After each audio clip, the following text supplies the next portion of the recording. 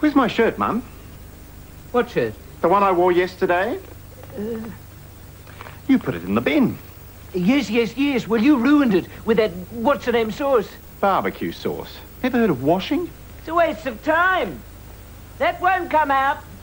I've got something new. You can't wash in that little bucket. It's new Dynamo Super Concentrated Laundry Powder. It's what? It's a concentrated powder. I'm not taking a powder. What a shame. Look, Dynamo lasts longer than two one-kilo boxes of ordinary powder. Well, well, well. And just two small scoops clean the whole wash. Look, no more barbecue sauce. I say, Arthur, that dynamo does clean. Maybe we won't have to throw all these out after all.